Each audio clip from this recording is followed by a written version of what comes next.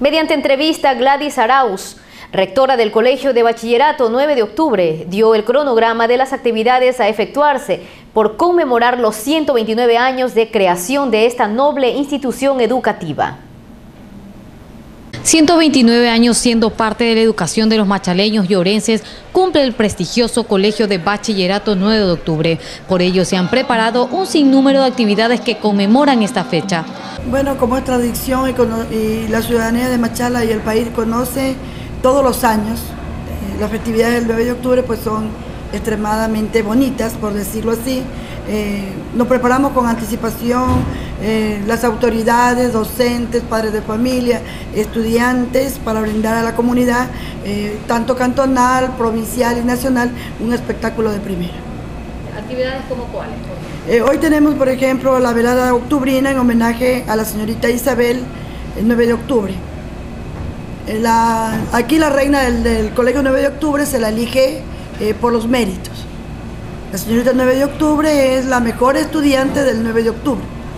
Y se elige también una corte de honor que también son los mejores estudiantes del 9 de octubre. Otro de los eventos que se llevará a cabo es la jornada deportiva organizada por el Departamento de Cultura Física de la institución, misma que será este 3 de octubre. Tenemos festival de comida criolla hoy día en los patios de plantel por las áreas básicas que van a elaborar. Tenemos el sábado 3 de octubre jornadas deportivas. El lunes 5 de octubre tenemos un momento cívico. En la plazoleta tenemos eh, las áreas de estudios sociales, lengua y literatura ponencias sobre ciencias experimentales, matemática, con martes 6 eh, de octubre. También tenemos concursos internos de oratoria, eh, de ajedrez, deportivos, conferencias sobre la naturaleza.